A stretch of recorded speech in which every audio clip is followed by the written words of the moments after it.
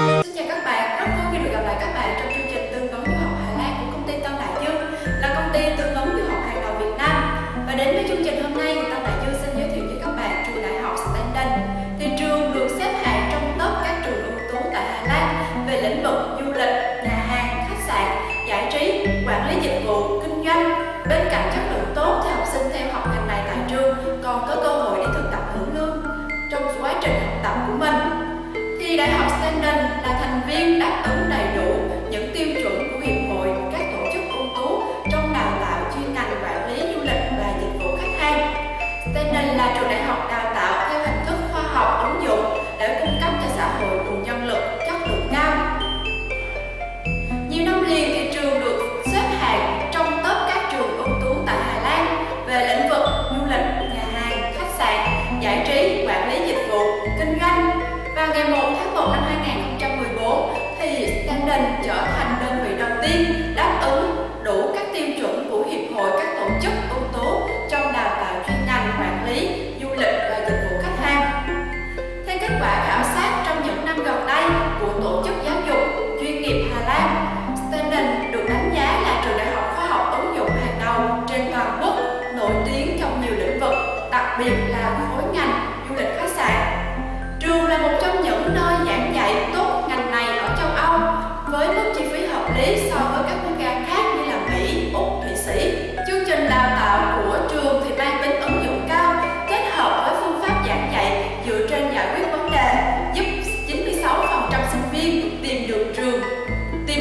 làm trong vòng 5 tháng sau khi tốt nghiệp.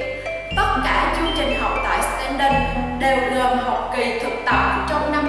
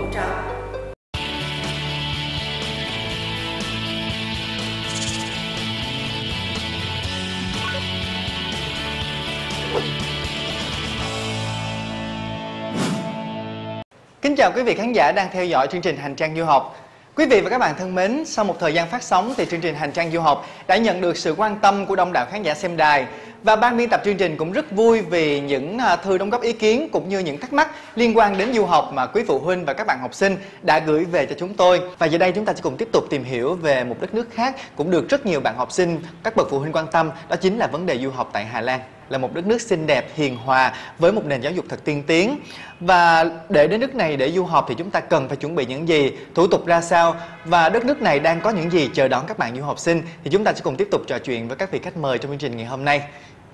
Và câu hỏi đầu tiên là đến từ một bạn ở quận 4 thành phố Hồ Chí Minh đó là bạn Triệu Phúc thì bạn có hỏi rằng là à, để mà học tại Hà Lan thì có cần phải à, có những cái điều kiện gì, có yêu cầu à, anh ban đầu vào hay không và khi xin visa du học Hà Lan thì có cần phải chứng minh tài chính hay không thưa cô? Khi du học Hà Lan, yêu cầu đối với một chương trình đại học là phải tốt nghiệp phổ thông trung học có IELTS 6.0 hoặc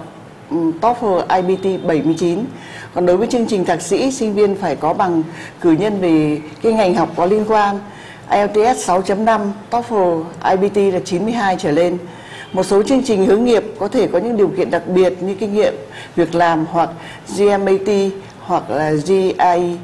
Các bạn sinh viên và quý phụ huynh khi muốn cho con em mình du học tại Hà Lan nhưng trình độ Anh văn chưa đủ để theo yêu cầu đầu vào của khóa chính thì có thể đăng ký một khóa học dự bị của trường. Thời gian từ 6 tháng đến 1 năm đối với bậc đại học và thạc sĩ. Về chính sách visa của du học Hà Lan, sinh viên không cần phải chứng minh tài chính. Nếu được trường chấp thuận vào nhập học thì gần như cái hồ sơ của bạn đã chắc chắn là có được visa. Nói chung thủ tục du học Hà Lan là đơn giản và tương đối thuận lợi. phụ huynh và học sinh vui lòng liên hệ với các chuyên viên tư vấn của Tân Đại Dương để có được thông tin cụ thể hơn.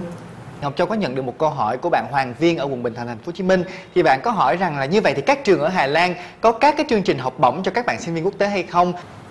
Chính sách học bổng cho sinh viên quốc tế tại Hà Lan hàng năm thì chính phủ và các trường đại học dành rất là nhiều học bổng, trong đó là học bổng là uh, à, NSB và HSB Heisen là học bổng của chính phủ Hà Lan uh, đều dành cho bậc cao học hoặc là năm cuối chương trình cử nhân. Thì học bổng được cấp trước hoặc là ngay sau bạn đăng ký và một số học bổng là sau khi chương trình học bắt đầu thì chẳng hạn trường đại học sắc sông có hai loại học bổng áp dụng cho chương trình cử nhân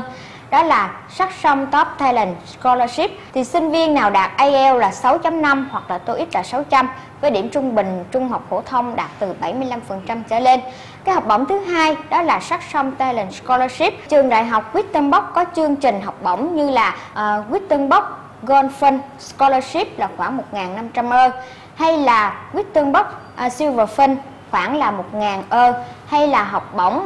Wittenbock Wittenberg ờ, scholarship là khoảng 500 ơ.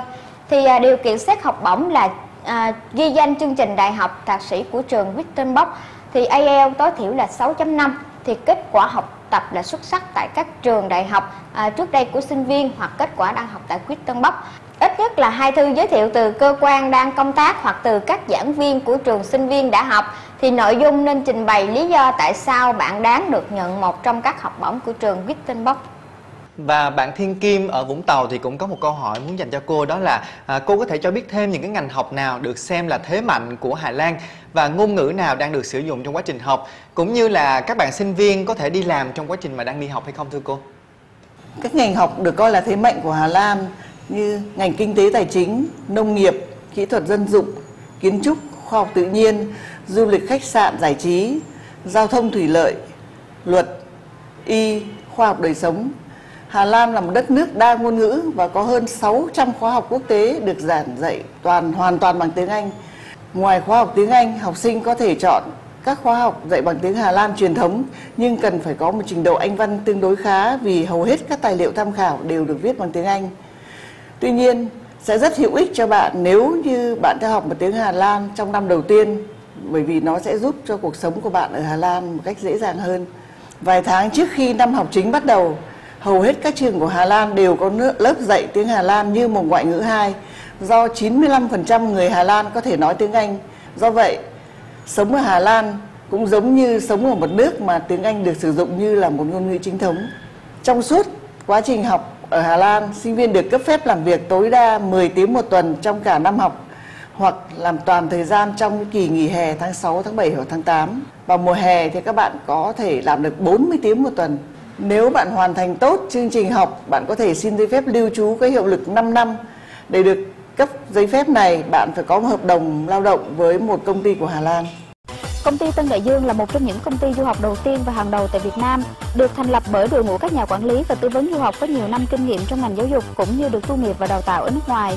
Với hơn 10 năm kinh nghiệm, Tân Đại Dương tự hào là nhà tư vấn du học chuyên nghiệp cho các du học sinh tại các nước trên thế giới, đặc biệt là Mỹ, Úc, Singapore, Anh Quốc, Hà Lan, Thụy Sĩ, v.v. Cùng với đội ngũ tư vấn viên chuyên nghiệp, chúng tôi cung cấp các dịch vụ uy tín và trọn gói cho ngành du học du lịch Mỹ, bao gồm